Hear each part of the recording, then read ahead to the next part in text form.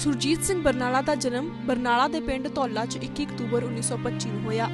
ਨਾਭਾ 'ਚ ਬੀਏ ਦੀ ਪੜ੍ਹਾਈ ਕਰਨ ਤੋਂ ਬਾਅਦ ਉਹਨਾਂ ਨੇ ਲਖਨਊ ਯੂਨੀਵਰਸਿਟੀ ਤੋਂ ਕਾਨੂੰਨ ਦੀ ਪੜ੍ਹਾਈ ਕੀਤੀ। ਕੁਝ ਸਾਲ ਵਕਾਲਤ ਕਰਨ ਤੋਂ ਬਾਅਦ ਉਹ ਅਕਾਲੀ ਦਲ ਦੇ ਜ਼ਰੀਏ ਸਿਆਸਤ ਵਿੱਚ ਸਰਗਰਮ ਹੋ ਗਏ। ਸਾਲ 1942 ਵਿੱਚ ਉਹ ਭਾਰਤ ਛੱਡੋ ਅੰਦੋਲਨ 'ਚ ਸ਼ਾਮਲ ਹੋਏ। 1952 ਚ ਬਰਨਾਲਾ ਨੇ ਆਪਣੀ ਜ਼ਿੰਦਗੀ ਦੀ ਪਹਿਲੀ ਚੋਣ ਲੜੀ, ਜੋ ਉਹ ਮਹਿਜ਼ 4 ਵੋਟਾਂ ਦੇ ਫ਼ਰਕ ਨਾਲ ਹਾਰ ਗਏ। 1969 ਵਿੱਚ ਸੁਰਜੀਤ ਬਰਨਾਲਾ ਪੰਜਾਬ ਦੇ ਸਿੱਖਿਆ ਮੰਤਰੀ ਬਣਾਏ ਗਏ। 1977 ਵਿੱਚ ਬਰਨਾਲਾ ਸਾਂਸਦ ਬਣੇ ਅਤੇ ਮੋਰਾਰਜੀ ਦੇਸਾਈ ਸਰਕਾਰ 'ਚ ਖੇਤੀਬਾੜੀ ਮੰਤਰੀ ਦਾ ਅਹੁਦਾ ਵੀ ਦਿੱਤਾ ਗਿਆ।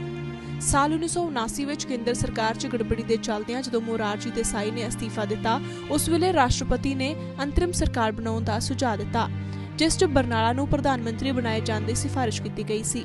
ਹਾਲਾਂਕਿ ਬਾਅਦ ਵਿੱਚ ਇਰਾਦਾ ਬਦਲ ਲਿਆ ਗਿਆ ਅਤੇ ਡਿਪਟੀ ਪ੍ਰਧਾਨ ਮੰਤਰੀ ਨੂੰ ਹੀ ਪ੍ਰਧਾਨ ਮੰਤਰੀ ਮੰਨਿਆ ਗਿਆ। ਫਿਰ ਦੌਰ ਆਇਆ ਜਦੋਂ ਸੁਰਜੀਤ ਸਿੰਘ ਬਰਨਾਲਾ ਪੰਜਾਬ ਦੇ ਮੁੱਖ ਮੰਤਰੀ ਬਣੇ। 29 ਸਤੰਬਰ 1985 ਤੋਂ ਲੈ ਕੇ 11 ਮਈ 1987 ਤੱਕ ਬਰਨਾਲਾ ਪੰਜਾਬ ਦੇ ਮੁੱਖ ਮੰਤਰੀ ਰਹੇ। ਇਹ ਪੰਜਾਬ 'ਚ ਸਿੱਖ ਮਿਲੀਟੈਂਟ ਲਹਿਰ ਦਾ ਦੌਰ ਸੀ। ਇਸ ਲਈ ਬਰਨਾਲਾ ਦੀ ਸੱਤਾ ਦੇ ਕਰੀਬ 2 ਸਾਲ ਬਾਅਦ ਪੰਜਾਬ 'ਚ ਰਾਸ਼ਟਰਪਤੀ ਸ਼ਾਸਨ ਲਾਗੂ ਕਰ ਦਿੱਤਾ ਗਿਆ। ਉਸ ਤੋਂ ਬਾਅਦ ਹੁਣ ਤੱਕ ਬਰਨਾਲਾ ਕਈ ਸੂਬਿਆਂ ਦੇ ਰਾਜਪਾਲ ਵਜੋਂ ਸੇਵਾਵਾਂ ਵੀ ਦੇ ਚੁੱਕੇ ਨੇ। 1990 ਤੋਂ 1991 ਤੱਕ 9 ਮਹੀਨਿਆਂ ਲਈ ਉਹ ਤਾਮਿਲਨਾਡੂ ਦੇ ਰਾਜਪਾਲ ਰਹੇ। ਬਰਨਾਲਾ ਨੇ ਤਾਮਿਲਨਾਡੂ ਸਰਕਾਰ ਦੀ ਬਰਖਾਸਤਗੀ ਦੀ ਸਿਫਾਰਿਸ਼ ਨੂੰ ਮੰਨਣ ਤੋਂ ਇਨਕਾਰ ਕਰ ਦਿੱਤਾ ਸੀ। ਫਿਰ ਬਾਅਦ ਵਿੱਚ ਉਹਨਾਂ ਨੂੰ ਬਿਹਾਰ ਦੇ ਰਾਜਪਾਲ ਵਜੋਂ ਨਿਯੁਕਤ ਕਰ ਦਿੱਤਾ ਗਿਆ, ਪਰ ਉਹਨਾਂ ਨੇ ਅਸਤੀਫਾ ਦੇ ਦਿੱਤਾ। ਦਸੰਬਰ 1990 ਤੋਂ ਲੈ ਕੇ 18 ਮਾਰਚ 1993 ਤੱਕ ਬਰਨਾਲਾ, ਅੰਡੇਮਾਨ ਅਤੇ ਨਿਕੋਬਾਰ ਆਈਲੈਂਡ ਦੇ ਉਪ ਵੀ ਰਹੇ। 1996 ਵਿੱਚ ਸੁਰਜੀਤ ਸਿੰਘ ਬਰਨਾਲਾ ਇੱਕ ਵਾਰ ਫਿਰ ਪ੍ਰਧਾਨ ਮੰਤਰੀ ਬਣਨ ਦੇ ਕਿਨਾਰੇ ਪਹੁੰਚੇ, ਪਰ ਨਹੀਂ ਬਣ ਸਕੇ।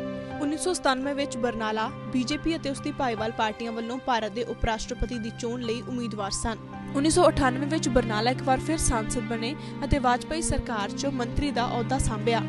ਸੁਰਜੀਤ ਸਿੰਘ ਬਰਨਾਲਾ ਉੱਤਰਾਖੰਡ ਦੇ ਪਹਿਲੇ ਰਾਜਪਾਲ ਸੀ। ਉਹ 2000 ਤੋਂ 2003 ਤੱਕ ਉੱਤਰਾਖੰਡ ਦੇ ਰਾਜਪਾਲ ਰਹੇ। 2003 ਤੋਂ 2004 ਤੱਕ ਬਰਨਾਲਾ ਆਂਧਰਾ ਪ੍ਰਦੇਸ਼ ਦੇ ਰਾਜਪਾਲ ਰਹੇ। ਇਸ ਸਮੇਂ ਦਰਮਿਆਨ ਉਹਨਾਂ ਨੇ ਉੜੀਸਾ ਦੇ ਰਾਜਪਾਲ ਦਾ ਵਾਧੂ ਕਾਰਜਭਾਰ ਵੀ ਸੰਭਾਲਿਆ। 31 ਅਗਸਤ 2011 ਤੱਕ ਸੁਰਜੀਤ ਸਿੰਘ ਬਰਨਾਲਾ ਤਾਮਿਲਨਾਡੂ ਦੇ ਰਾਜਪਾਲ ਰਹੇ। ਇਸ ਸਮੇਂ ਉਹਨਾਂ ਨੇ ਪੌਂਡੂਚੇਰੀ ਦਾ ਵਾਧੂ ਕਾਰਜਭਾਰ ਵੀ ਸੰਭਾਲਿਆ। ਭਾਰਤ ਦੇ ਇਤਿਹਾਸ 'ਚ ਡਾਕਟਰ ਏ ਆਰ ਕਿਦਵਈ ਤੋਂ ਬਾਅਦ ਰਾਜਪਾਲ ਵਜੋਂ ਸੇਵਾਵਾਂ ਨਿਭਾਉਣ ਵਾਲੇ ਦੂਜੇ ਵੱਡੇ ਲੀਡਰ ਸਨ।